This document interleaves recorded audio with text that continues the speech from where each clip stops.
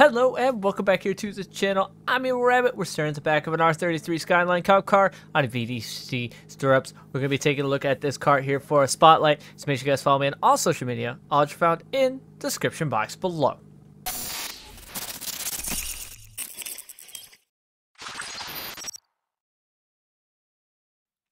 So we are taking a look at this R33 Skyline given to me by, he's known as Worlds in the Assetto Corsa community. So a big thank you to him for giving me access to this R33. This car is aggressive and definitely like the whole missing rear bumpers and everything like that. So before we go into driving this car, credit where credit is due.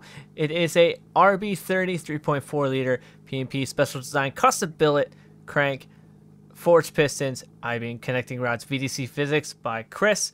So it does say there's extra extensions for removing the bonnet and changing the spoiler. A lot of this car, a lot of the parts on this car were from ACM. So, um, that is so cool, and I need to figure out how to do that. And then, yeah, okay, all right, man. Uh, we must. I must figure out how you do this because can we drive it that way? We can. Uh, well, we're gonna drive it like this just because that looks sweet.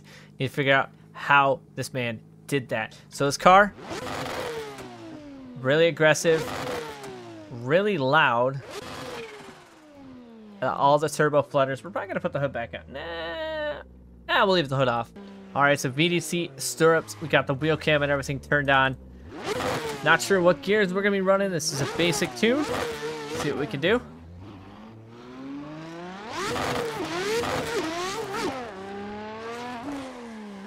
Kind of let's just slow roll that in at first.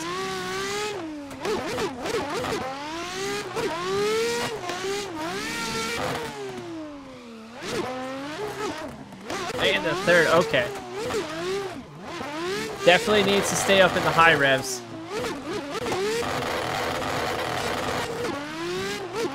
This car just likes red line. I'm noticing. So this is a very aggressive car. Um, when we spawn back pit, it gives us all our parameters back. I'm noticing from the spawning of removing the hood and stuff like that. All right, so fourth gear, third gear. Let's see if we can't get another full run here. Then we'll go in first. Starting second gear rollout. Since that boost kicks in, this car is a monster.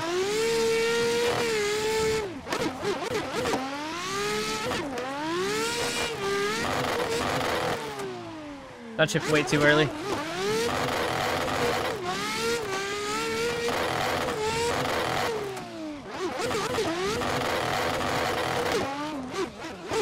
Probably should have stayed in fourth, but I liked it. Banging off red line. This car is so aggressive, so big thank you to him for giving me access to this car. So now let's go. Oh boy. Yep. Definitely do like all the carbon on the interior. Definitely a very clean carbon setup, Link ECU right there. And uh, of course button box and everything then there. Got a Papadakis uh, AEM cluster going on in here. Window banner is a little bit low, but uh, we'll see what we can do.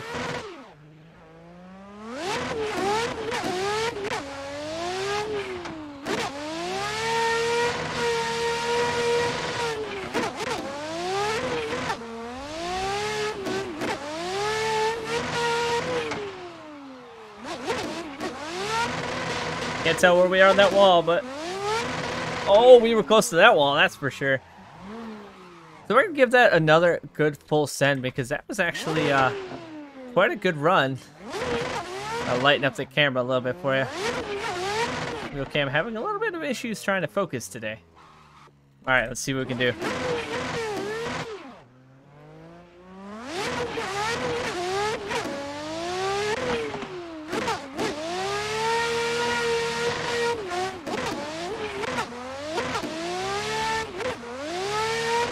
Got this. Oh, not sure where we were there. A little bit of a hesitation. Just assassinating the red line in this car. So let's go take a look at that replay of that last run because I kind of want to see where I was at.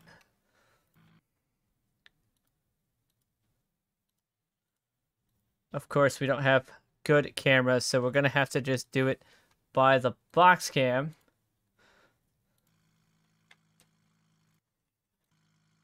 This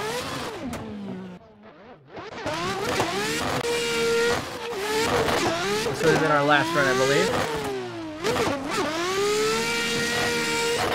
So halfway decent through the zones. Nothing major crazy. Little cut there. This is where I kind of want to see where I was at. Pretty deep in the wall. A little bit offline. Nothing too crazy. But for not knowing how this car drives it, this car is loud. It just assaults that red line. So we're going to switch up tracks and take a look at it on another track. So I'll catch you guys more on grid. So quickly becoming one of my favorite tracks, Orlando Speed World. Obviously, I used to do Urbandale, but we're here on Orlando. We're to run it on the base tune that he has implemented on this car. And we're going to see if how that handles. Handbrake. is instant lockup. Not sure what gear we're going to be running here at OSW, but uh, I'm anticipating fourth.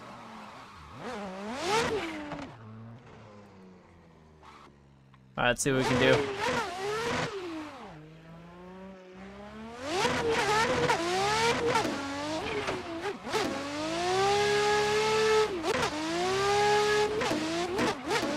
Get my C off the bank. Oh, with that window banner, that's hard.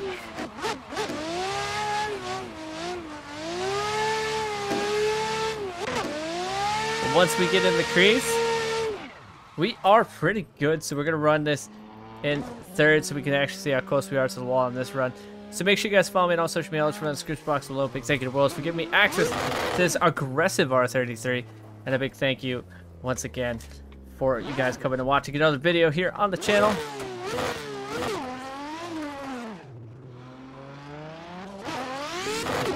Fourth gear hit. Oh, really slow roll. Probably should adjust the gear ratio, but we wing in the wall. That's good.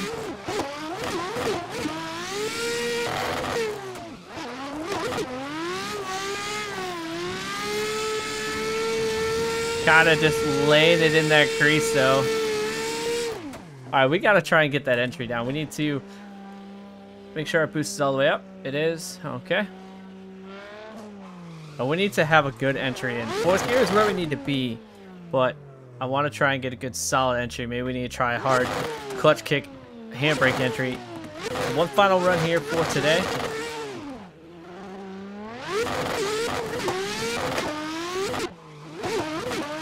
Oh, too much.